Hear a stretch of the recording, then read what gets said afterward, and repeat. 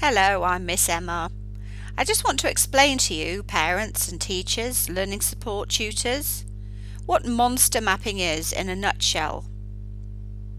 When we speak in English, we're using speech sounds that are blended together, but it happens so quickly you're not even probably conscious of it. Children can learn to speak in English very naturally, but learning to put those speech sounds on paper, to read them and to write using the, the representations of those speech sounds is not natural and it has to be taught for the vast majority of children. They just won't pick it up. It has to be something that is taught explicitly, systematically. Ironically, in a lot of countries of which English is a second language, they use the IPA. The IPA is a way to represent speech sounds, just using one symbol. Because think about when we use those speech sounds, if we want to explain which one it is using a letter, it's very, very difficult. If I give you the word sent, you actually don't know how to spell it until you know what it means if you put see it in context. I sent my child to the party. I'm wearing new scent today. I have 50 cents.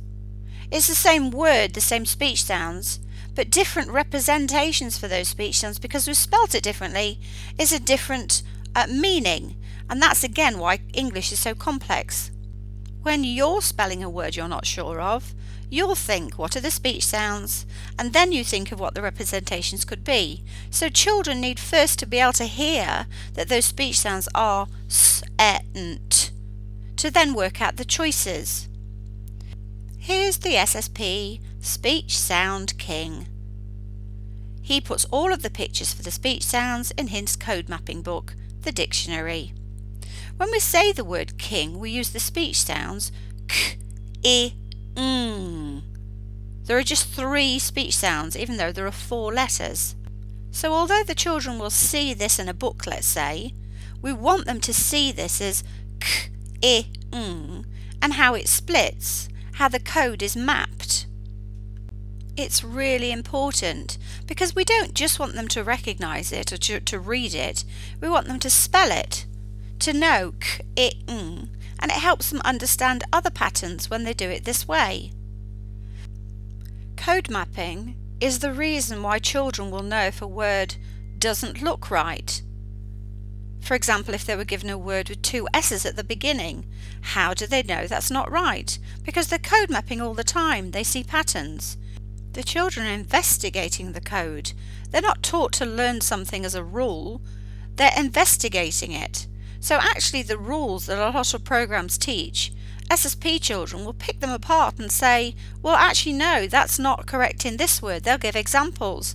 For example, if there was a rule that you can't have a J at the end of a word, they'd say, well actually no, here's an example. I before E except after C. Well, it doesn't work in a lot of words. But the difference is the SSP children will give you examples of the words that that doesn't work in.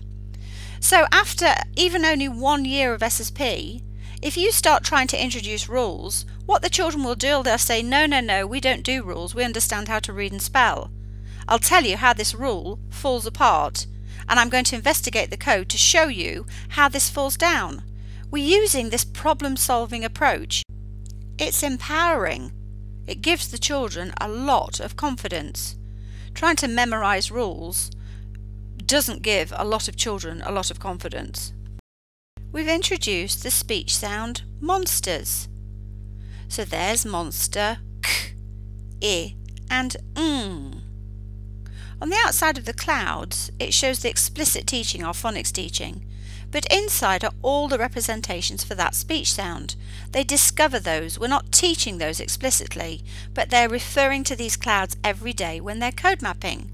So even though they might learn that I as a representation for I in the green code level, they're exposed to all of them. On the outside you can see the IPA symbol. They don't have to learn those, but they're looking at those every day. So we had the symbols for k, i, ng with the IPA, and this also helps teachers understand linguistics, which is really, really important. Here are the symbols for the word the. Two speech sounds, the, uh, the. This is part of the reason why so many countries who speak English as a second language actually do better than us with literacy because they're not taking anything for granted. They're analysing our speech sounds, they're analysing English. They have to because they're learning how to speak it as well as how to read and spell in English. So they understand the word the is two speech sounds, the, uh, and the second is actually a schwa. A lot of our teachers in Australia have never even had training on the schwa, let alone used the IPA, used the phonetic symbols. Many think that words like the can't be sounded out, not realizing that of course they can. Every word consists of speech sounds. Therefore, every word can be sounded out. But to understand this, they need to have training, and that's why we have the dream teams. Not only are they teaching their children to read and spell really quickly and effectively, I'm actually giving them the things that they didn't get at university and they haven't had as experienced qualified teachers. As soon as the teachers understand about linguistics and they understand how to bridge the gap between speech sounds and how we represent them on paper, everything they do is different. They pay close attention to phonemic awareness, to the phonemic awareness skills of their students, because without this, without this ability to identify those smaller parts, the children will not understand phonics, how to represent those smallest parts. They code map those smallest parts are mapped with a letter or letters used to represent them. Every speech sound is used, every letter is used. So they understand why we're using phonemic awareness and not phonological awareness, which is just a broader term. Phonemic awareness is the skill that is needed, and this is why we do not split words into syllables or use onset and rime.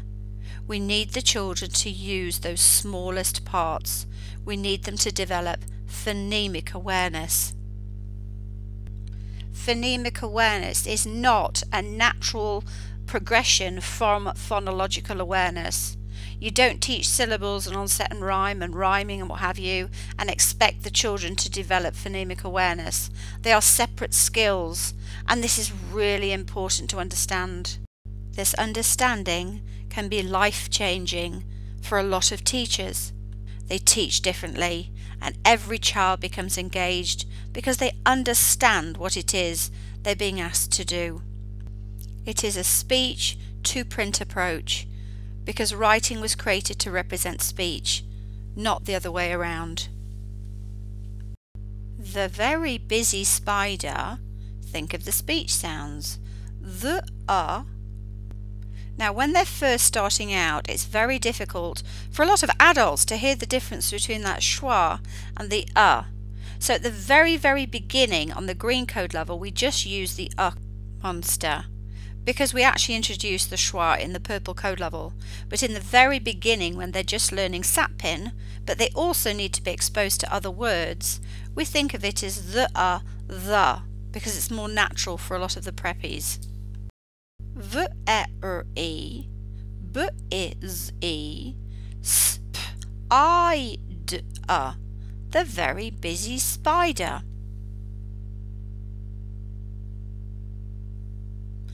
Look, look, at, at, the, uh, the, web, web. Look at the web.